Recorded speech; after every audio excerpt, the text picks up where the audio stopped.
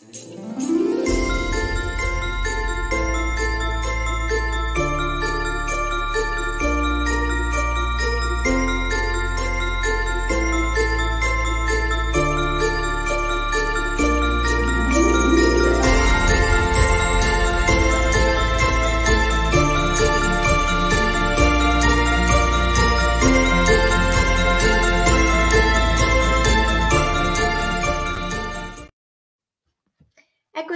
Buonasera a tutti i lettori e le lettrici di F1 World.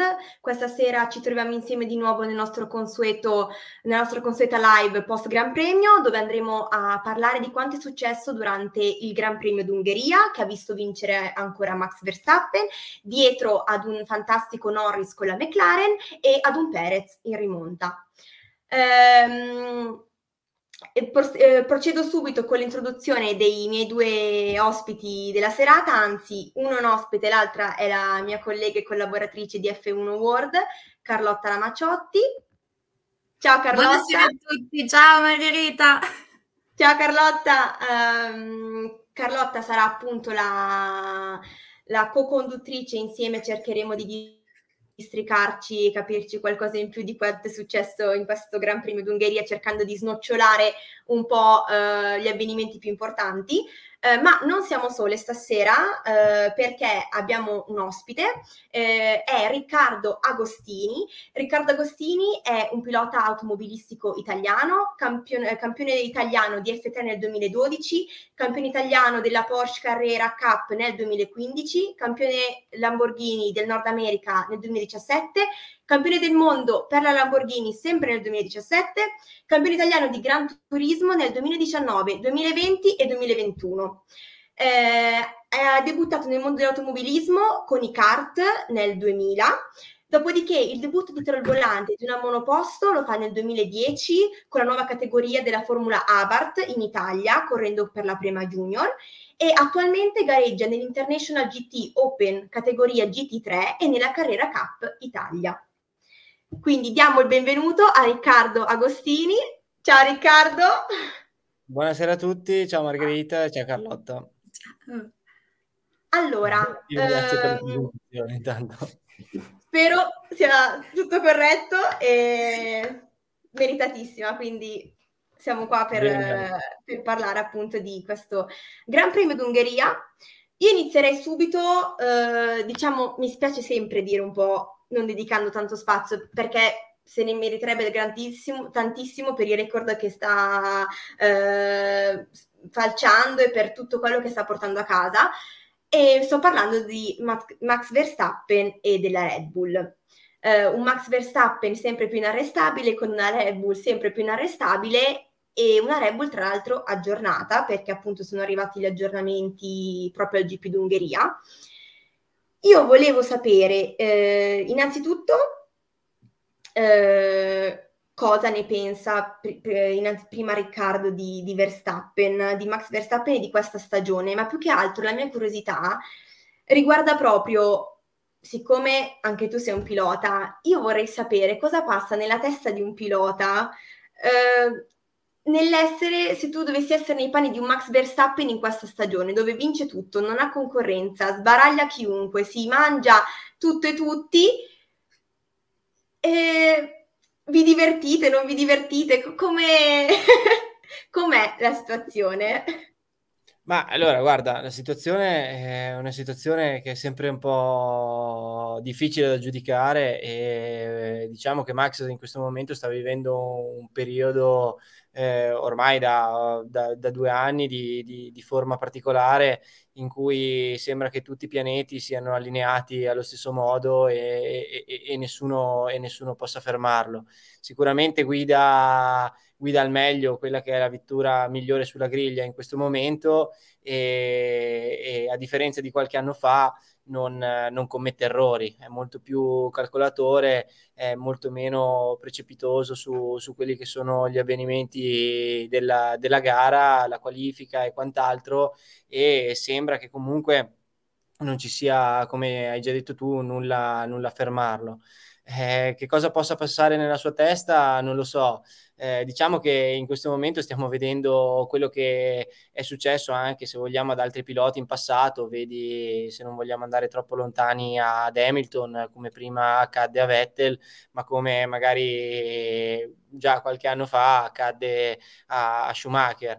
Eh, diciamo che la Formula 1 come tutti gli altri campionati eh, è un campionato in cui eh, se hai la macchina più veloce è forse più facile ehm, eh, vincere, vincere, delle gare. Eh, però c'è da dire che Perez non riesce a fare quello che Verstappen sta facendo in questo momento e quindi eh, i meriti bisogna, bisogna darglieli. È chiaro che diventa alle volte forse un po' noioso vedere questo, questo monologo a partire dalla qualifica al fine gara, però eh, questo è il suo momento e siccome non credo sia così facile eh, avere sempre nella carriera momenti così, così, positivi, è giusto che lui riesca, riesca a sfruttarli al massimo e ne, e, e ne goda al 100%. Perfetto, chiara, chiarissima risposta.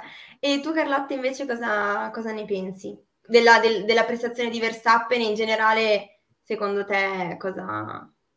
Beh, Max ci ha regalato per l'ennesima volta una delle sue prestazioni spettacolari, non, non ne sbaglia una.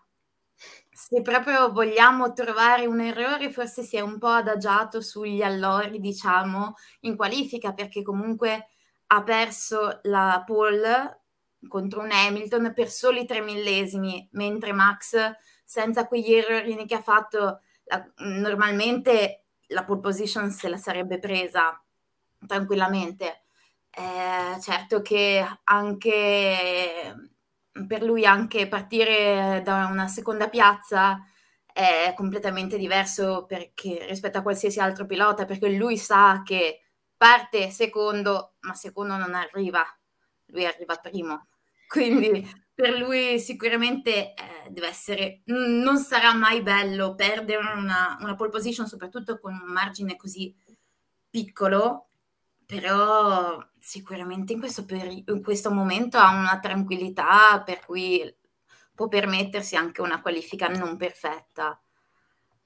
A me piace sempre, sono d'accordo con te, ehm, a me piace sempre la, la fame di, di, Max, cioè nel senso, eh, vedendo magari le prove libere o le qualifiche, ma soprattutto le prove libere dove si provano gli assetti per, per il weekend e si fanno i cambi di, di assetto appunto, eh, ah, si dice sempre che lui ha la macchina migliore che è cucita praticamente su di lui e su qualunque circuito che si trovi, che si trovi a correre, però secondo me la sua fame nel senso che nei, nei team radio che scambio con i suoi ingegneri durante le prove libere lo vediamo sempre arrabbiatissimo, cioè è impossibile che eh, lui tiri fuori un, un oh mi fa piacere, la macchina è bella da guidare così nel, nel venerdì, che ci sta, ma lui, trova, lui ha sempre quella grinta, cioè penso che magari un continuo vincere così, continuando a non vincere, stravincere su tutti, potrebbe magari farlo abbassare e dirgli mm, magari la macchina lavora un po' più così o lavora un po' più cosà, ma lui proprio ci mette enfasi della serie proprio la macchina non va bene, dovete cambiarla, è inguidabile, è tutto, quando poi comunque continua a fare tempi su tempi nel giro secco, nel passo gara, eh, mi sembra che le, le, le prove d'Austria forse lui dicesse tipo la macchina non riesco a fare niente, non riesco a girare a destra, non riesco a sterzare a destra né a sinistra, poi ha messo il tempo veloce ed è andato in prima posizione. Lui riesce sempre in un certo modo a, uh, a trasmettere questa sua fame, questa sua grinta, che comunque è tipica, diciamo, dei, dei fuoriclasse come, come Max, ecco, secondo me. E, ehm, venendo appunto ad Hamilton, che prima Riccardo lo aveva, lo aveva citato, c- si è parlato tantissimo di, di Hamilton, della, della, Mercedes, della Mercedes e di Hamilton. Uh, si pensava che appunto questi nuovi aggiornamenti potessero averli portati in una direzione un po' più positiva, invece abbiamo visto dopo il Canada un po' un, un rimescolamento delle carte, come è successo con Ferrari. Um, però abbiamo visto una prestazione, diciamo, così si può dire, di forza di Hamilton. Io volevo chiedere eh, prima a Riccardo, ehm, perché tanti l'avevano dato per spacciato, no? Eh, vabbè, basta, i suoi anni li ha avuti, questo ha fatto, questo ha dato, ha raccolto tutto quello che poteva raccogliere, così. E, e molti parlano, è tornato dopo questa prova, dopo questa poll. È tornato o non se n'è mai andato? Riccardo. Ah, io, eh, io cre- non, non se n'è mai andato Hamilton, cioè, eh, alla fine quest'anno è stato costantemente più veloce di Russell, ha avuto forse l'anno scorso una stagione un po' più difficile nella quale secondo me, eh, data la sua, la sua, esperienza maturata negli anni, ha fatto un po' da cavia anche per il team per cercare di eh, venire fuori dalle sabbie mobili che hanno, che hanno eh, portato, portato, dentro un po' la Mercedes, soprattutto all'inizio dell'anno. Eh, diciamo che eh, sicuramente non guida la macchina che guidava qualche anno fa, però eh, credo che fino ad oggi abbia ottimizzato tutte quelle che sono state le, eh, le, le possibilità eh, di, di, di, risultato che gli si sono presentate. Forse, ecco, forse la peggior, la peggior gara è stata proprio quella di domenica, considerando la, la, la posizione di partenza. Eh, ciò nonostante, eh, comunque per la Mercedes in questo momento si stanno inanellando dei, dei, dei risultati un po' più positivi eh, per, entrambe, per, entrambe, le macchine. È stato forse un peccato non vedere Russell già dalle qualifiche partire un po' più, un po più davanti, però ha dimostrato che la prestazione della Mercedes eh, nel weekend di Budapest è stata comunque una, una buona prestazione ehm, a dimostrazione che gli, che gli, aggiornamenti portati dalla casa di, tedesca comunque funzionano e, e, probabilmente gli consentiranno anche di portare, eh, portare, a casa, se così si può dire, dei risultati buoni anche nella, nei, nei prossimi eventi. Mm, poi eh, chiaramente stiamo vedendo Gran Premio dopo Gran Premio che un, non, non, non, si possono fare eh, troppi pronostici, probabilmente ne parleremo, ne parleremo, dopo, però ci sono tante case costruttrici e piloti che sono partiti bene e stanno magari arrancando in questo momento ed altri che invece sono partiti un po' più eh, in defiance e oggi invece sono emersi, cioè, emergono in maniera importante. Certo, Carlotta cosa, cosa ne sono, pensi? Sono d'accordo su tutto quello che ha detto Riccardo. Eh, Luis forse ha avuto, mh, mm, sì, ha avuto quel calo un po' l'anno scorso, già in ripresa verso fine dell'anno, ma non, mm, al massimo si era un po' addormentato, non se n'è sicuramente mai andato. Questo è poco ma sicuro. Poi che la Mercedes abbia portato degli ottimi aggiornamenti è evidente eh, sia dalla sua poll che proprio come ha detto anche Riccardo dalla prestazione di Russell che comunque è, è partito diciottesimo certo, e è riuscito a risalire che mh, mm, questo mi dispiace un po' che si è parlato giustamente tanto della bella rimonta di Perez ma un po' troppo poco di quella di Russell che a sua volta ha recuperato tantissime posizioni lo scorso Gran Premio. Uh, in questo momento previsioni sono veramente difficili, ogni GP c'è chi uh, migliora, chi peggiora improvvisamente, a parte Red Bull. Loro sono da secondo in poi infatti abbiamo una costante. da secondo in poi, poi, da secondo in poi è, è apertissimo. Però secondo me se Mercedes dovesse continuare su questo eh, su questo filone di aggiornamenti e migliorare costantemente questa monoposto, Lewis potrebbe seriamente riprovarci, diciamo, l'anno prossimo. Secondo mm. me. Secondo te? Io ce lo vedo. La, eh, stai eh, prendendo la gamba. Eh, Luis è difficile dire che non, non, non ci provi. Lui, Beh, quello sicuro ha una chance, eh, credo che se la, se la, giochi, se la giochi fino in fondo. Mm, allora, diciamo che per, per, per, come vedo la Formula 1 in generale, mm, fino al, al, al cambio del, del, regolamento che poi sarà nuovo nel 2026, vedo una Red Bull molto avvantaggiata. Eh, vedo un Verstappen che, che comunque è molto forte e sebbene sia abbia magari perso la pole position domenica, eh, comunque nelle fasi di gara ha un ritmo e un passo che per gli altri è insostenibile.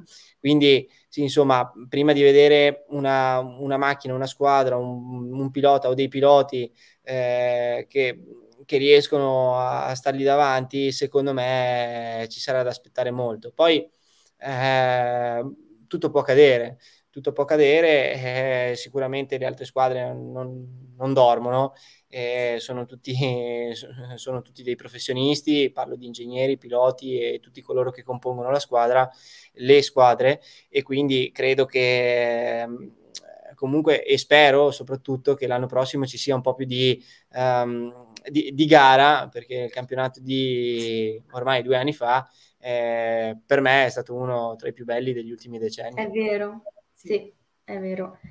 Sicuramente magari sarà difficilissimo a livello proprio matematico di replicare la bellezza del campionato del 2021 arrivando proprio a chiusura di punti così, però insomma, non dico arrivare proprio ad Abu Dhabi a giocarsi, ma almeno in fondo, no? Sicuramente eh, già praticamente dalla prima, dalla prima gara del, no, non la prima gara del Bahrain, però comunque si era visto benissimo anche dai test quanto fosse un gradino sopra tutti palesemente la, la Red Bull. E parlando invece di eh, passo gara, diciamo non, non insostenibile, mettiamo molto molto arduo, molto difficile, passerei a parlare un attimo della Ferrari. Allora, la Ferrari abbiamo visto che ha portato, aveva portato questi pacchetti di aggiornamenti, avevamo visto l'Exploit in Canada dove si era detto tantissimo, la Ferrari tornata, la Ferrari tornata, seconda forza, così, fino a poi vedere i, i vari problemi avuti eh, soprattutto poi in, in Belgio, ehm, in Ungheria e a Silverstone. Tra una macchina che appunto una, presenta una netta difficoltà nel, nel, nel, passo gara, ma anche poi ha vari errori di, di, di, di strategia e poi, um, come dirà poi, come appunto parlerà poi Carlotta, vari ordini di scuderia che a volte vengono compresi, a volte no, a volte sono condivisi, a volte no. Abbiamo visto che gli ultimi Gran Premi non sono stati molto condivisi, almeno da una parte del box, del box Ferrari.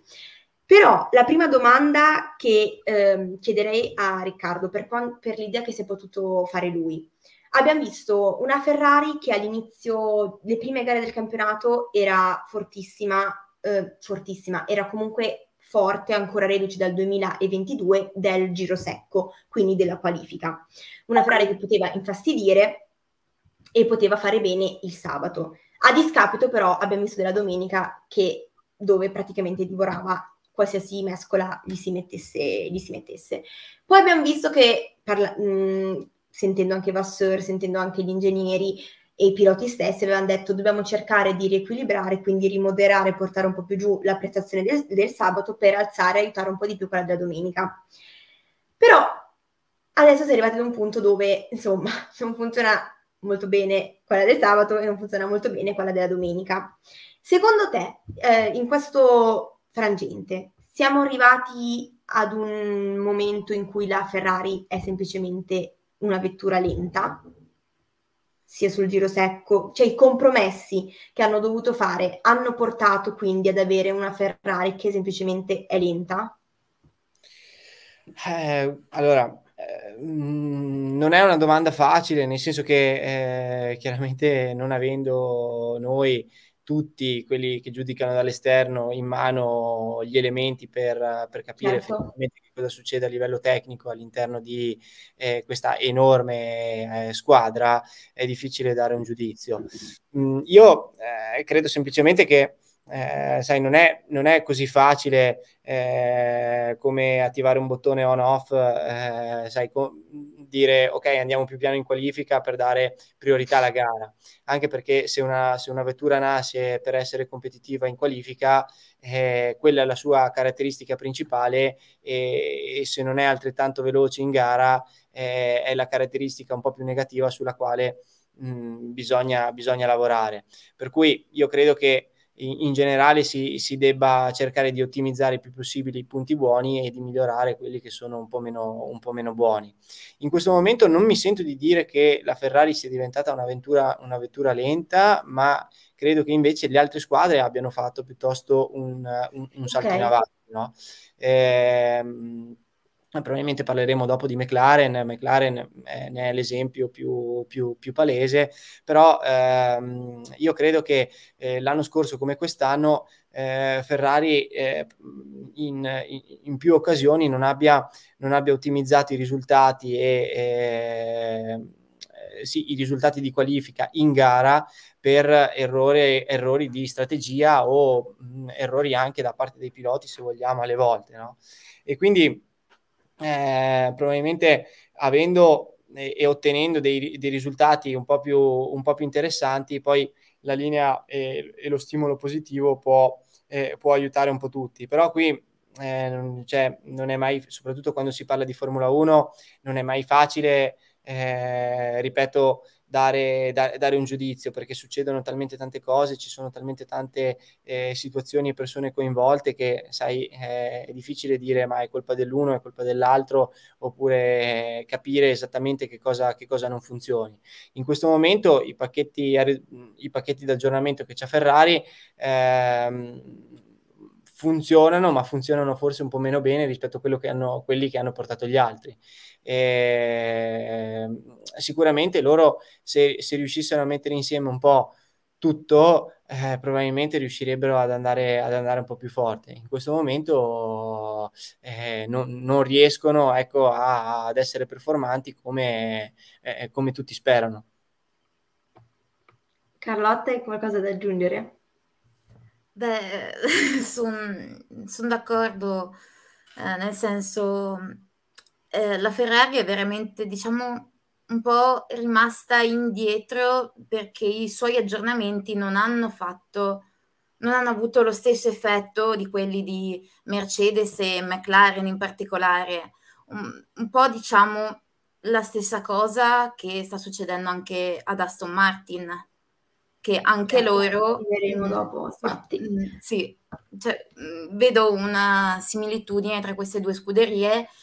Poi ovviamente la più chiacchierata è Ferrari perché stiamo parlando della Ferrari. Ferrari. Però eh, diciamo le situazioni sono simili.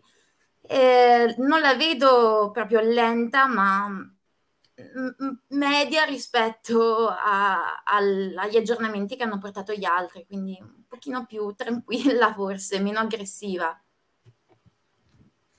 Ok, e, um, un'altra domanda a, a, a voi due. Eh, si è parlato tantissimo, in, soprattutto negli ultimi fine settimana, date le, appunto le prestazioni della, della, della Ferrari, che il progetto sia sbagliato e che sia da diciamo, accartocciare, far, um, ripartire da un foglio bianco. Io volevo sapere eh, da, da, Riccardo, secondo te eh, c'è ancora del potenziale? Perché dicono sempre c'è del potenziale, ma è nascosto, dobbiamo trovarlo. C'è del potenziale, ma è nascosto, dobbiamo trovarlo. C'è realmente, secondo te ovviamente non, realmente in senso figurato, non possiamo sapere perché come dicevi tu, non abbiamo i dati alla mano, non abbiamo nulla alla mano, noi possiamo solo basarci appunto su quello che riusciamo a vedere e sentire dai team radio, dalle, dalle prove libere, soprattutto per gli assetti e dalle, dalle, poi dai risultati che si hanno in qualifica in gara. C'è ancora, vale ancora la pena di poter lavorare su questo progetto, di spremere tutto, anche in vista dei campionati futuri, quindi 24-25, o conviene ripartire da un foglio bianco per il 2024 e costruire una nuova vettura? Questa è la mia... Allora, guarda, eh, se vogliamo partire già, eh, se vogliamo partire dalla stagione 2021, eh, il progetto di Ferrari non è, mh, non è stato assolutamente un progetto eh, sbagliato o meno competitivo rispetto agli altri, perché eh, se vogliamo dirla tutta, fino a mh, praticamente metà stagione la Ferrari è stata la vettura più competitiva sulla griglia. Ehm, eh, e credo che eh, sia subentrato poi sia subentrata della negatività nel momento in cui eh, non sono stati ottimizzati i risultati che eh, invece concretamente si potevano ottenere. Ehm, e, e, quindi da lì poi c'è stato un, un susseguirsi di uh, situazioni negative che hanno portato poi a dire ah, la Ferrari ha, ha avuto del, sì, un calo, non sono stati in grado di seguire gli aggiornamenti, eccetera, eccetera.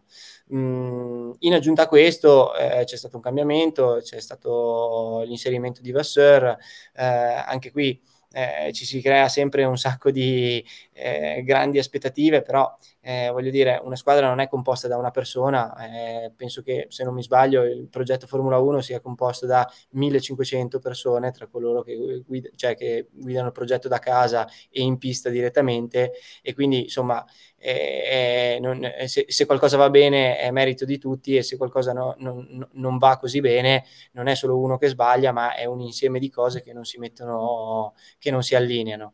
Eh, detto questo, il progetto mh, è un progetto che comunque non, non lo ritengo eh, fallimentare eh, e eh, cercherei se, in primis di ottimizzare quello, quello che hanno senza eh, venire fuori da, da, dai weekend e dire ah sì, eh, potevamo fare meglio di qua, eh, abbiamo sbagliato il pit, ci è mancata la gomma, eccetera, eccetera. E, e, e da lì eh, cercare di capire dove si è realmente senza, senza, questo tipo di errori e dire ok, ci manca effettivamente della performance da un lato piuttosto che un altro. Eh, se il progetto è da abbandonare oppure no, eh, giusto per rispondere alla tua domanda, eh, è chiaro che tutte le squadre in questo momento dovrebbero dire, beh vabbè, la Red Bull ha già vinto e, e, e quindi dovremmo, dovremmo, tutti lasciare, alzare bandiera bianca e, e, lavorare per il prossimo anno. Non è detto che lo, tutti lo stiano già facendo utilizzando comunque quello che di buono hanno già da, eh, dalla macchina di, eh, di, quest'anno, perché comunque le gare sono un banco prova, le qualifiche altrettanto e, e tutti hanno modo di eh, fondamentalmente provare qualcosa che per l'anno 2024 può essere interessante oppure no. Carlotta, Sono... se vuoi dire qualcosa e poi introdurre la, la questione dell'ordine di scuderia. Sì, anche qui mi trovo, mi trovo d'accordo. Poi mh, mm, ovviamente eh, bisogna tenere in conto anche la solita eh, questione di cui si sta parlando tantissimo poi in questi giorni del budget cap. Sicuramente mh, mm, non, non, c'è modo per uh, far diventare la monoposto 2023 nel 2023 una Red Bull.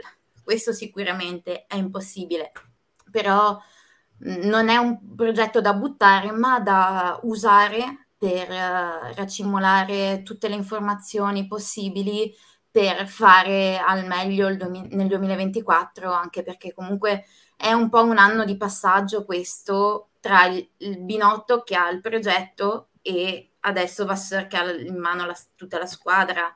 Quindi um, secondo me c'è molto da vedere. È è tutta una gestione di Ferrari che non, potremo, non possiamo capire dall'esterno. A proposito appunto di questa eh, questione, vorrei, eh, volevo introdurre il discorso dell'ordine di scuderia o comunque quanto è successo tra eh, Leclerc e Sainz, ossia non hanno lasciato passare Sainz che era più veloce, ma poi hanno fatto fare a Leclerc l'undercut su Carlos e, e, questo, soprattutto ovviamente in Spagna, ha generato molte polemiche. Tu, Riccardo, cosa ne pensi di questo? Di questo? Ma eh, non lo so. Allora, anche qui eh, ci sono mille dinamiche, le vedo anch'io insomma nelle mie gare, magari in maniera diversa, però eh, degli ordini di scuderia ci sono, ci sono sempre. Eh, le vere ragioni dietro non le sappiamo, è chiaro che nel momento in cui eh, emergono palesemente eh, diventano motivo di discussione e, e quindi è, è, è, normale che ci sia un, um, un, po, di, un po' di fuego dietro questo, a questo tipo di scelte. No? Eh, detto questo, eh, gli ordini di scuderia arrivano nel momento in cui eh, la squadra ritiene che sia eh, al fine di ottimizzare il risultato di tutti, eh, avvengono nel momento in cui sì, si pensa, si pensa a questo, no? E, ehm, poi c'è sempre uno che, che, ne paga le conseguenze, in questo caso è stato Leclerc, eh, è stato Sainz, in altre situazioni magari lo è stato Leclerc. Mm, onestamente non mi, se- non, non mi, sento di puntare il dito contro nessuno, no?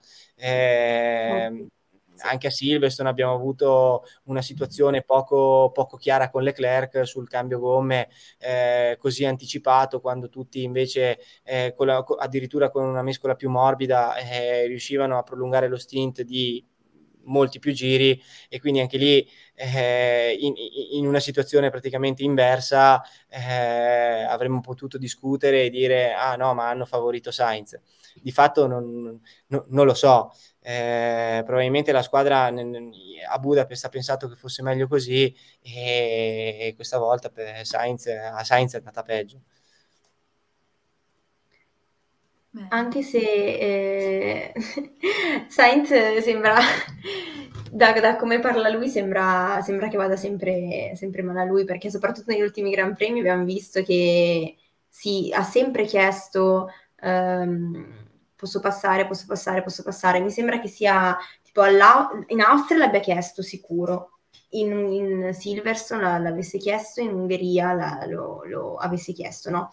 Quindi io voglio chiedere una cosa a Riccardo, visto che anche lui parlava che eh, anche da lui insomma si parla un po' di ordini di scuderia e, e la domanda è se io accordo, no? se arriva Vasseur eh, o chi per esso che ha il compito di, di due ingegneri di pista, non lo so, chi fa le strategie e dice abbiamo pensato di fare così, di uh, Leclerc che vai davanti, non interessa tu dietro Sainz se sei veloce, lento, così sei arrivato dietro, quindi facciamo fare i primi giri a Leclerc per vedere come va e poi nel caso pensiamo. Se è stato concordato questo, secondo te è un atteggiamento corretto in team radio chiedere lo switch?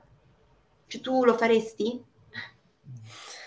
Eh, io l'ho fatto, eh, per, per, cui non, non, non, posso dire di no. Sai, quando, quando guidi hai comunque una, una tensione e, e, chiaramente lasci da parte quelli che possono essere stati gli ordini di scuderia eh, discussi nel pre-gara, perché comunque stiamo parlando di situazioni che eh, il team assieme ai piloti eh, analizza prima di andare in gara, per cui sanno esattamente quello che potrà succedere, lo, lo, lo immaginano e, e, quindi i piloti bene o male sono già abbastanza, noi siamo già abbastanza informati di quello che succederà. Nel momento in cui si apre un team radio del genere, probabilmente è perché le cose non stanno andando come le avevano magari immaginate, no? e quindi il pilota, okay. eh, il pilota si esprime, eh, chiaramente si esprime in mondovisione nel, nell'ambito della Formula 1, i nostri, i nostri, team radio sono un po' più privati e quindi nasce, nasce, nasce meno discussione. No? Ehm, eh, detto questo, per un pilota, per quello che sta, dav- quello che sta dietro, sì, è, un, è, un, è sempre un, un, push, nel senso che vedere di essere più veloce rispetto al pilota davanti è sempre, è sempre una cosa positiva, per quello davanti un po' meno, eh, però d'altronde eh, anche lì effettivamente ehm, sì, se sei, se sei più veloce e non riesci a passare per varie dinamiche di gara, è giusto che il team dia la precedenza, almeno che non si parli di un primo o un secondo posto, eh, a, a, colui che è più veloce. No? Per cui eh, questo, questo è, quello che penso io nella maniera un po' più...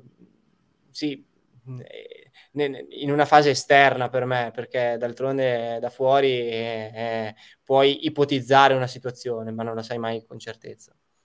Certo.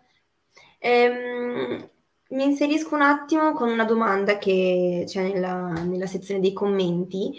Eh, Dori Dubois chiede: eh, Volevo sapere che ne pensate delle vetture di Verstappen e Perez, uno quasi sempre in pole e l'altro che non riesce quasi ad arrivare in Q3. Grazie. Mm. Prego, eh, Riccardo. Eh, Verstappen e eh, Perez. Allora, eh, non è, cioè, è una domanda molto coerente secondo me a, ai fatti che, che, stanno succedendo, perché d'altronde abbiamo visto nelle prime gare un Perez che, eh, se vogliamo, in, in, in, alcune situazioni era anche più veloce rispetto a Verstappen. Mm, e nelle ultime gare invece abbiamo visto un Perez particolarmente in, uh, in defiance, eh, soprattutto nella qualifica. Allora, per quanto riguarda eh, le macchine, io credo che per Red Bull eh, non ci sia, eh, non, cioè, non, non, ci sia se- un senso nel far andare uno forte e uno piano mhmm, potrebbe esserci nei momenti in cui più avanti nel campionato entrambi i piloti eh, si stanno giocando una posizione e quindi eh, tendenzialmente nel, in una squadra c'è sempre il pilota A e il pilota B. Eh, e di questo ne siamo, tutti, ne siamo tutti più o meno consapevoli. Poi eh, qualcuno può dire di no, ma di fatto è sempre stato così, lo è stato in Ferrari con Schumacher, lo è stato in Mercedes con Hamilton, lo è oggi in Red Bull con Verstappen e lo era con Vettel. Ehm, quindi se vogliamo parlare delle qualifiche andate male per Perez, Perez sostanzialmente è stato è stato tante volte sfortunato, tante volte mh, non, ha, non, è stato lui in grado di eh, cogliere i momenti per, per, di, di, qualificazione e quindi da, da, lì è partita una gara completamente in salita.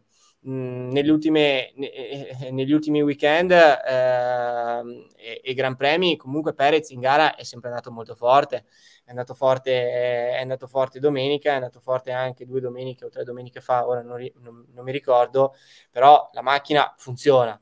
Eh, quindi non, non, mi sento di dire che le due macchine abbiano delle differenze a livello tecnico. Ecco.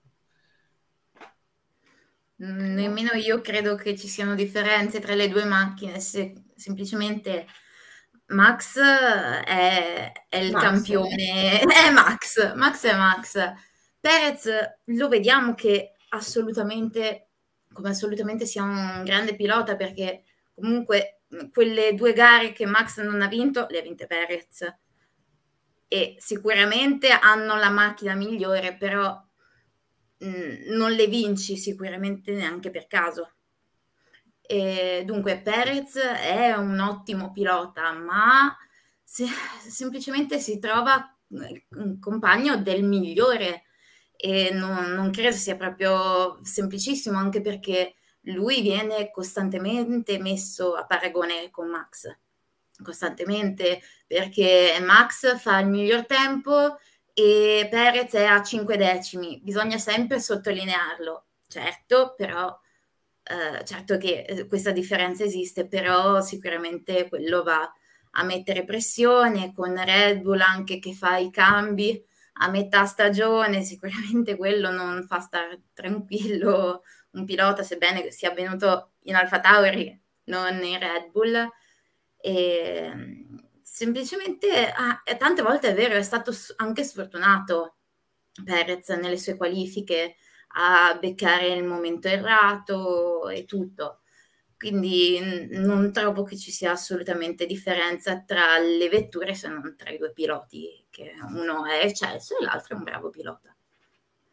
Io sono d'accordissimo con quanto avete detto sia, sia tu Carlotta che Riccardo, soprattutto sottolineare ancora una volta quello che ha, detto Riccardo, cioè che anche secondo me è inutile sprecare tempo a parlare di eh, una macchina eh, tutta perfetta per Verstappen, invece una macchina piena di problemi per Perez, semplicemente perché non porta a casa i stessi risultati. Cioè, secondo me Max è, è Max e sta dimostrando di essere uno dei fuori classe. E invece Perez vedo che soprattutto negli ultimi Gran Premi sta facendo davvero fatica ad entrare in, in sintonia con la, con la vettura, ecco, eh, secondo me. E, e, e, come hai detto tu Carlotta, secondo me non aiuta neanche il fatto di eh, avere dietro un entourage del tipo, di avere innanzitutto come compagno di squadra un leone come Max Verstappen, cioè della serie eh, mh, Perez è in decima posizione, si porta a casa il giro veloce, io sono davanti con 30 secondi sul secondo, ma non mi interessa, io entro e voglio fare il giro veloce perché voglio avercelo io questa competitività, secondo, di questa competitività, secondo me, Perez ne soffre un po', questa, questa fame di Verstappen. E poi il fatto di avere dietro un entourage della serie Helmut Marco e Christian Horner che sono un po' lì come, come due gufi o, o, due corvi, non lo so, su, su, su Perez e, e, secondo me il fatto anche di aver cambiato um, Ricciardo con De Vries lancia secondo me un segnale, cioè nel senso l'hanno cambiato in Alfa Tauri, va bene, però comunque sono loro che hanno fatto, hanno deciso di fare lo switch. E secondo me è un po' come un monito, un po' come un segnale, nel senso, cioè se io devo cambiare a metà stagione eh, non, mi, cioè, non mi interessa che, chi tu sia, se abbia 10 Gran Premi, 5 Gran Premi, se abbia vinto delle gare, cioè attenzione perché se mh, mm, continui a sottoperformare, cioè non è che voglio dire sottoperformare, perché come ha detto Riccardo anche prima, lui i risultati li, porta a casa, però poi non fa il taglio del Q3, è sempre costretto alla rincorsa così abbiamo sentito specialmente un Helmut Marco che nelle interviste praticamente mm, non dice parole belle, non so, da forse l'Azerbaijan per il povero Perez.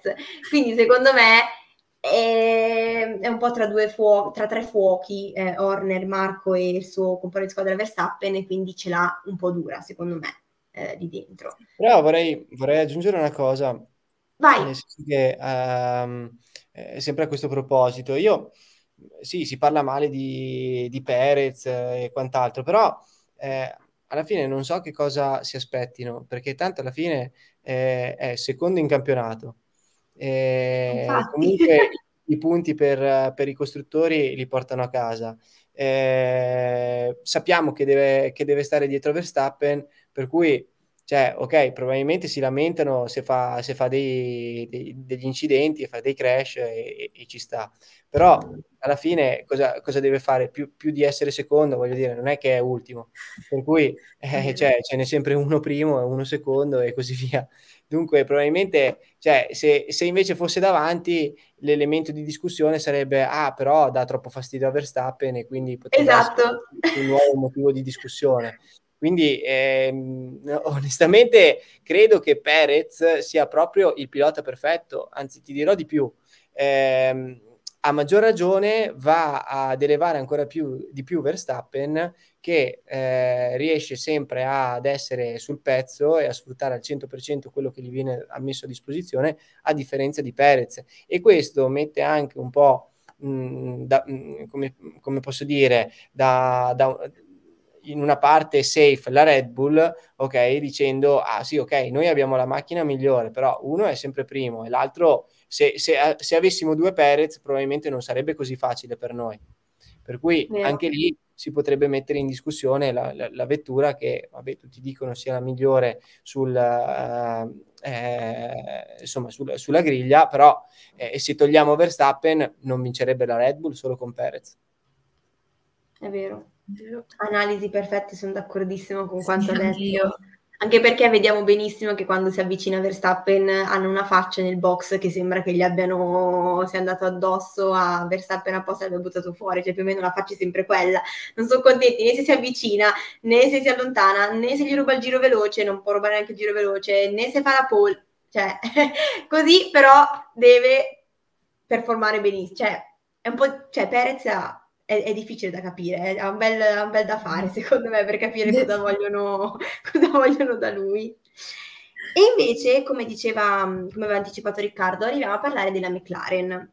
Una McLaren che, diciamo praticamente, magari anche sbagliando a questo punto uh, adesso, all'inizio la davamo praticamente per spacciata perché durante i test era inesistente, durante le prime gare era inesistente, fuori al taglio del, del Q1 in gara si trovava a lottare per diciannovesimo, ventesimo posto, mi sembra due gare hanno fatto 19-20, due o tre gare sicuro, Norris e Piatti hanno fatto 19-20. E poi abbiamo questa McLaren che, bam, compare e infastidisce anche tanto, perché poi fa sorgere dei dubbi e delle critiche anche sugli altri team, perché gli oscura mette in evidenza i loro punti deboli e così. Volevo chiedere, eh, eh, partendo da Riccardo, Mm, cosa, com'è possibile che una macchina sia passata da 19-20 posto a, a, dare addirittura uh, 37 secondi, mi sembra abbia dato in, alla Ferrari nel, nel GP di d'Ungheria? Cosa, cosa, Eh, questa è una bella domanda, anche perché la, la McLaren è la vera e forse unica rivelazione della, dell'anno fino a questo momento. Poi se ce ne saranno delle altre, non lo so, eh, però eh, loro hanno fatto uno step eh, di velocità che è incredibile se consideriamo i risultati che dicevi tu prima mh, dell'inizio dell'anno. Eh, che cosa abbiano fatto? Non lo so, si dice che abbiano copiato parte della, dell'Aston Martin e della Red Bull e, e chi copia arriva secondo, però loro secondi ci sono. e, esatto. e, non è facile, e non è facile neanche quello perché a questo punto hanno copiato molto bene, ma mh, stiamo dicendo questa parola, in realtà cioè, anche da parte loro non è sempre stata una squadra super vincente nel corso delle stagioni e quindi non hanno, non hanno sicuramente gente, gente stupida che, ana- che, analizza e che evolve tutti quelli che sono i progetti. O semplicemente appunto eh, frutto di un grande lavoro fatto dalla squadra hanno eh, fatto funzionare quello che magari poteva essere già un progetto buono all'inizio dell'anno e, e che magari come la Ferrari in questo momento loro sono riusciti ad ottimizzarlo, cosa che altre squadre non, non, non sono riuscite a fare. Però eh, in questo momento si, si, sono rivelate, si rivela la seconda forza eh, come team nel, sulla griglia e complimenti perché anche i piloti eh, vedi che poi nel momento in cui hanno una macchina, vabbè, Norris non ne avevamo dubbi, è sempre stato un gran, un gran pilota e n- nessuno può dire n- nulla fino ad oggi, però anche, anche, il Piastri della situazione abbiamo visto che è, è partito con un punto interrogativo, tanto che in, in molti l'hanno messo in discussione, oggi invece è, è, un, è, un, pilota da top 5 eh, dove eh, sì, si, gioca, si gioca i sorpassi con Hamilton, con, con, i Perez, si lamenta pure e quindi è bello, è bello, vedere, bello vedere questa crescita eh, assieme, no? pilota e team. Sì. Carlotta? Eh, io, se non erro, eh, già dal Bahrain mi, mi, sembra che Stella avesse detto che la monoposto vista nelle prime gare non fosse effettivamente la McLaren che, del 2023 che sarebbe stata sviluppata. Dunque sicuramente loro hanno iniziato eh, gli aggiornamenti, a pensare agli aggiornamenti prestissimo e evidentemente hanno sì, hanno sì copiato, ma copiato veramente bene perché ha fatto un salto incredibile eh, non solo a riuscire a, superare un paio di altre scuderie. Hanno superato praticamente otto scuderie quasi in, in, una botta sola perché eh, gli, gli aggiornamenti sono arrivati in due tranche, ma tra Austria e Gran Bretagna sono arrivati tutti. E eh, è bello anche vedere come mh, degli aggiornamenti possano veramente svoltare una stagione, come hanno fatto con loro.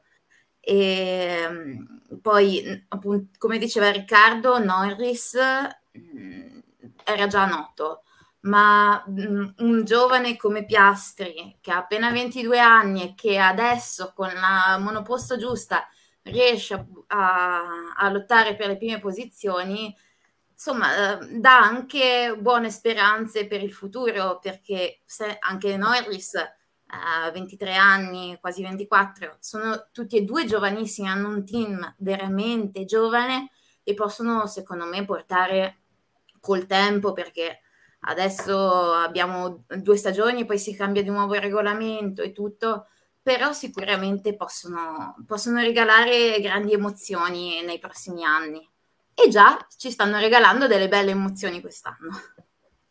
Infatti, parlando di, di risultati di, di, quest'anno, volevo sapere cosa ne pensavate di questo. A parte, eh, parliamo di campionato costruttori, quindi a parte la Red Bull che la lasciamo correre nel loro campionato e sta prendendo il volo con, ormai sono 452 punti che ha nel, nel campionato. Abbiamo la Mercedes sotto, abbiamo la, la Aston Martin ormai ferma a 184 punti in terza posizione. Poi abbiamo la Ferrari e la McLaren in um, quinta posizione che adesso sta risalendo con 87 punti. La mia domanda è, alla luce delle prestazioni che ci sono, che stiamo vedendo adesso, del trend positivo che comunque sta avendo McLaren con una macchina che sembra davvero funzionare e sembra aver azzeccato tutti gli aggiornamenti che sono stati portati, secondo voi si può parlare di un podio, quindi parliamo di seconda e terza posizione, per il campionato costruttori di quest'anno? Secondo voi? Parli di McLaren sempre? Sì, McLaren. Beh, non, non- non si può escluderlo, eh, anche perché di gare ne mancano tante alla fine dell'anno e, e quindi e, sì, cioè, eh, loro in questo momento sono in lizza anche per la vittoria, parlo delle gare, e che quindi gli può permettere in termini di punteggio di fare una scalata molto rapida a livello di classifica generale, come, eh, sia come piloti che come costruttori. Per cui oggi, eh, non, eh, al di là di Red Bull e Verstappen, eh, forse oserei dire anche Perez, però è tutto, è tutto molto molto in gioco e le squadre onestamente eh, si daranno molto da fare per, per arrivare a, a conquistare quella, quella, seconda posizione o terza o quarta che sia, anche perché ricordiamo che ci sono dei premi eh, che possono fare molto la differenza poi eh, sugli sviluppi del, degli anni successivi, parlo di, in termini proprio economici. E quindi sì, vedremo secondo me un bellissimo campionato da qui in avanti eh, di Serie B, come, se, se così si può dire. Certo. Carlotta, cosa ne pensi? Io uh, sono, sì, sono, piuttosto fiduciosa del, sul fatto che vedremo in questa seconda parte di stagione una bella lotta appunto per secondo e terzo posto nei costruttori, perché adesso abbiamo appunto Red Bull esclusa, ma abbiamo quattro, um, quattro team che sono abbastanza vicini tra loro. Quello un po' più staccato è McLaren, ma allo stesso tempo tu, quasi tutti i punti che ha fatto li ha fatti in tre gare, praticamente le ultime tre. Dunque, mh, mm, per come sono le carte in tavola adesso, mh, mm, appunto si prepara un bello spettacolo e sicuramente loro si inseriranno nella lotta. Che possano riuscirci o meno, ce lo diranno eventuali aggiornamenti futuri, eh, poi mh, mm, ovviamente non abbiamo idea di come saranno le gare, ma eh, quello appunto ce lo dirà il futuro. Però la lotta, nella lotta si inseriranno sicuramente sarà veramente bella da vedere. E ehm, invece avevamo accennato prima appunto al, um, Intanto ci arriva un commento che dice onestamente vedo una stagione dove le vittorie lotterà tutte la Red Bull, troppo forte, poi essendo che la variante ritiro è scomparsa da anni non vedo come qualche team possa strappare un gran premio. Ecco, secondo voi è vera la previsione di Rastri che aveva fatto nei test prestagionali che salvo ritiri, salvo cataclismi che possono succedere a Verstappen o alla Red Bull in generale può vincere tutti questi Gran Premi del 2023? Beh, su base teorica sì, però eh, le gare sono, non sono fatte soltanto di, di performance. eh, si può bucare una gomma, un pilota può sbagliare, eh, eh, ci può essere un incidente, può esserci la pioggia, ci sono tante variabili. È chiaro che se noi prendiamo eh, tutto quello che ad oggi abbiamo visto e, e, e tutto va eh, e segue un filo logico, eh, cioè Verstappen eh, vince le gare, vince tutti i Gran Premi. Però eh, insomma io mi aspetto che come, come sempre ci sia almeno una, un paio di volte, un, un qualcosa che, eh, che, dia un po' più di enfasi, un po' più di, di, di, eh, di pepe a, a, ai Gran Premi. Per cui sì, mm, vedremo. Sì, diciamo che sì, mm, pensandoci non è assolutamente impossibile né improbabile che questo succeda, però mh, mm, abbiamo quasi, mh, mm, mi, non mi ricordo di una stagione onestamente vinta proprio tutte le gare dallo stesso team. Una gara ci scappa sempre, una, una gara simile al Monza del 2020 in cui eh, ha vinto Gasly ad esempio, o anche solo pensando all'anno scorso Interlagos eh, con Russell. Mm, penso che quantomeno una vittoria potrebbe scappare a Red Bull. Invece, tornando a, al cambio di metà stagione che è stato fatto, um, al, cambiando appunto De Vries con eh, Ricciardo, secondo te può minacciare qualcuno all'interno dei, degli equilibri della Red Bull? Ricciardo? Allora, eh, diciamo che mh, mm, secondo me, già vedendo questa prestazione in cui eh, lui è partito e subito è stato speronato da, da Zhu, passando, eh, prendendo poi in mezzo alle due alpine, ma nonostante questo ha finito la gara tredicesimo davanti al, qui, al quindicesimo posto di Tsunoda. Quindi ha già battuto il suo compagno in una sola gara. E mh, sicuramente deve riambientarsi, è un monoposto che non conosce e tutto. Mh, per questa stagione, secondo me, siamo tutti, saranno tutti tranquilli, non vedo, non vedo nessuna minaccia se non per magari eh, Tsunoda, nel senso che magari si prende la leadership del team a discapito de, del giapponese, però la vedo più come un, un, inserimento nella lotta per Red Bull dell'anno prossimo, perché Perez dovrebbe essere in scadenza di contratto, mi sembra. Dunque, sì, dunque eh, mm, non si sa se rinnoveranno lui, si pensava di poter quotare Tsunoda, ma adesso bisogna proprio confrontarlo con Ricciardo che potrebbe inserirsi eh, per, uh, per, un posto l'anno prossimo, secondo me. È quello che minaccia, minaccia magari Perez o Tsunoda, ma per l'anno prossimo. Per quest'anno sicuramente dovrà provare a Helmut Marco di essere di aver fatto la scelta giusta nel rimpiazzare De Vries con lui. Io leggo, eh, leggo, adesso un commento dopo quello che hai detto tu Carlotta e poi passo a, a Riccardo. Eh, sempre Biagio scrive: Onestamente, Ricciardo visto in Ungheria è da rivedere, ma non credo che possa fare meglio di Perez. Ovviamente parliamo del Ricciardo attuale. Cosa ne pensi invece tu, Riccardo? Secondo te può impensierire un eventuale posto nel Major Team l'anno prossimo, 2025? Ma allora, eh, Daniel eh, in questo momento ha una grossissima chance che è quella di ritornare nel, nell'otto della Formula 1.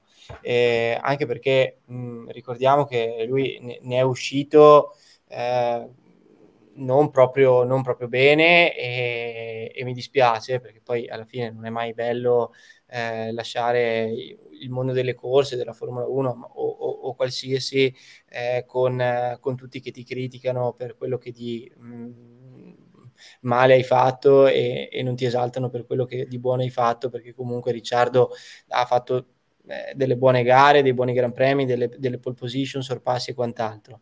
Ehm, il fatto che si parli già di rimpiazzo Perez per il 2025 o già da quest'anno, eh, io ci andrei un attimo con i piedi di piombo. Lui in questo momento si deve un attimo eh, riscattare, rimettere in balance con quello che è eh, il, eh, il mondo e continuare a fare bene come ha fatto, come ha fa, come ha fatto domenica.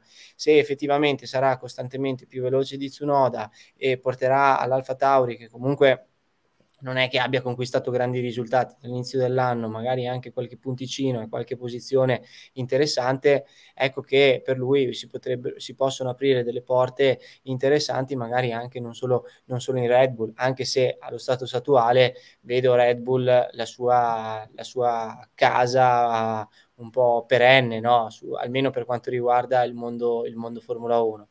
Eh, non mi sento di aggiungere altro. Perfetto. E chiudendo invece, eh, parlando dell'Alpine, ehm, questi, questo doppio ritiro, che è stato il secondo doppio ritiro della stagione, ovviamente non, abbiamo visto che non, era, non è stata colpa delle Alpine, né è stata colpa di Ricciardo come all'inizio si pensava, ma è stata appunto colpa del, di, di, tutto il... Um, il problema che ha avuto eh, Joe Wagnu alla partenza, poi la foga di ripartire così e ha speronato eh, Ricciardo che poi ha toccato le due alpine. Un, diventa un problema eh, per il budget cap, parlando delle due alpine che già comunque fanno, stanno facendo molta fatica nell'area degli sviluppi, mh, mm, capire appunto, sappiamo benissimo che quando già una macchina, se già abbiamo una macchina che non funziona, capire che ovviamente come modificarla tenendo conto che però c'è sempre questa spada di Damocle del budget cap sulla testa, eh, in più arrivano due ritiri con delle macchine praticamente abbastanza, abbiamo visto, messe molto male. Eh, può, può, diventare un problema per il budget cap? Cioè devono iniziare a, a preoccuparsi? Ma allora, eh, budget cap è sempre un po' un punto, un punto interrogativo. Sicuramente questi, questi, DNF pesano molto, soprattutto quando si parla di entrambi i piloti all'interno della stessa gara e, e come già dicevi tu, sono due, è già due volte che, la, che l'Alpine non arriva e, e, questo è un peccato perché comunque Alpine ha fatto delle gare interessanti, ha fatto dei risultati molto interessanti eh, nei, nei, Gran Premi passati e, e, tutti si aspettano che ritorni tra le posizioni di testa. Di testa parlo mh, mm, eh, assieme a magari Aston Martin, McLaren stessa, mh, mm, non lo so, eh, vedremo, però insomma eh, ha dei buoni piloti e quindi mi aspetto che insomma ritornino a fare dei risultati diversi da quelli degli ultimi Gran Premi. Carlotte, tu cosa, cosa ne pensi? Sicuramente la questione del budget cap non aiuta, questo è sicuro.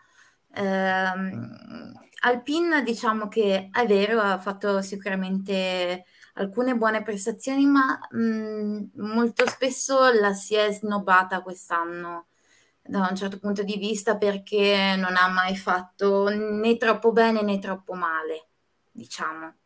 E sarebbe bello appunto vedere degli sviluppi che la portino mm, a competere per uh, posizioni migliori, ma uh, sì, non ho idea di quanto questo budget cap possa influire sulla, sulla possibilità di, di portare migliorie e altro perché appunto già siamo, siamo solo, tra virgolette, a luglio, ma già si parlano, si parla appunto di squadre che hanno sforato l'anno scorso, eccetera. Quindi mh, e, e, già era successo l'anno passato. Eh, non so se magari adesso i team vogliono andare ancora più cauti o se continueranno sulla loro strada, stando attenti comunque a non superare perché l'anno scorso le sanzioni sono state più o meno tranquille, non si sa adesso per la seconda stagione cosa succederà.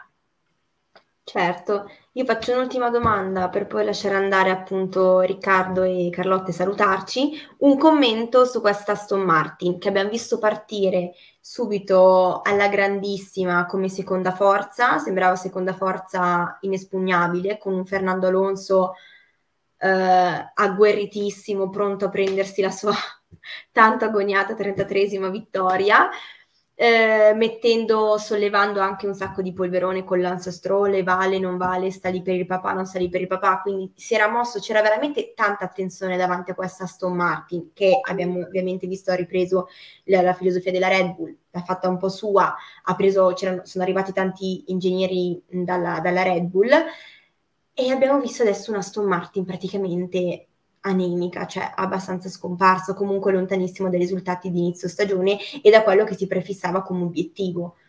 Quindi volevo sapere cosa, cosa ne pensate secondo voi di questa Aston Martin, cosa può essere successo, cosa, perché eh, mi riferisco soprattutto a, a, Riccardo con una domanda un po' più tecnica.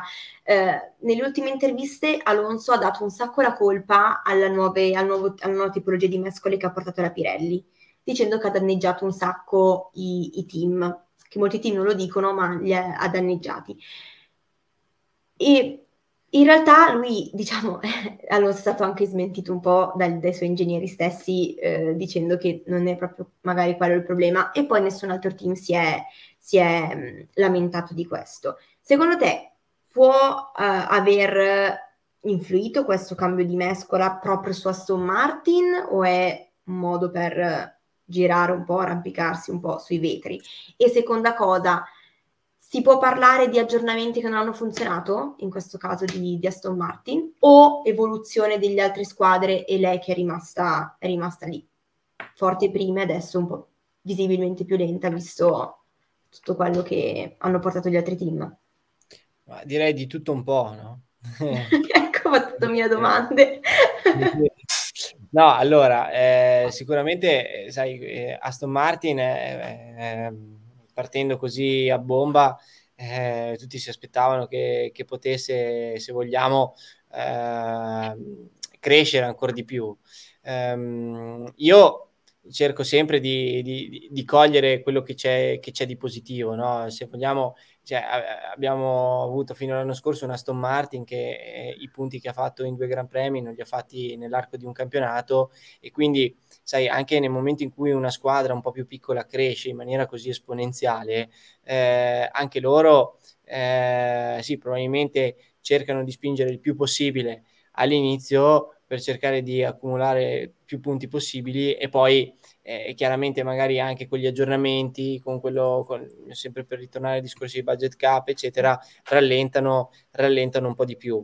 Poi, se vogliamo inserire, e quindi penso che questa sia un po' eh, la ragione principale del, del down che eh, in questo momento sta avendo, sta avendo Aston Martin. Poi, eh, il discorso della, della mescola gomme probabilmente sta influendo negativamente, come, come, come dice eh, Alonso, e, e, e, sta favorendo magari altri a discapito di, di, di Aston Martin. Mm, vedremo nei, nei, nei, prossimi weekend. Ess- possono esserci anche delle situazioni in cui eh, ma- alcune macchine reagiscono meglio eh, ad alcune piste rispetto, rispetto, ad altre. Anche la, la, la Mercedes stessa eh, a Budapest era andata molto bene l'anno scorso, e è andata molto bene quest'anno e quindi tutti pensavano sia l'anno scorso e penseranno ad, adesso che la Mercedes possa dalla, dalle prossime gare essere eh, sempre più competitiva. Eh, di fatto poi bisogna sempre fare un balance di tutte le gare e, e ci sono eh, casi in cui si va, si va, un po' meglio e si va un po' peggio. Eh, prima di dire ok, la, l'Aston Martin eh, non va come prima oppure a un momento è in, in, caduta libera in termini negativi, magari aspetterei qualche altro Gran Premio per poi eh, rifare un po' il, il focus e, e dare un giudizio un po' più preciso. Carlotta, vuoi aggiungere qualcosa? Sì, aggiungendo sul, sul, sempre su questo discorso di budget cap, quello che mi chiedo io è se tutto questo, perché hanno portato sicuramente una vettura molto migliorata rispetto all'anno scorso, completamente diversa, mh, mm, mi chiedo, perché non ho idea di come gestiscano le finanze, se proprio questo forte investimento sull'inizio di stagione non possa poi andare contro per gli aggiornamenti successivi, magari mm, meno importanti per una questione proprio di mancanza di fondi o quantomeno di mm, non avere abbastanza fondi rimanenti per non superare il budget cap. Quello, quella è l'unica cosa che mi chiedo per il resto sono d'accordo. Perfetto. Eh, io ringrazio tantissimo Riccardo Agostini per la sua disponibilità. Eh, grazie. grazie mille, ti faccio in bocca al lupo per i tuoi campionati, sperando di ottenere ottimi risultati. E vi do appuntamento, grazie mille Carlotta anche a te, e vi do appuntamento alla prossima live del Gran Premio del Belgio. Ciao a tutti. Ciao, buona serata, grazie. Ciao.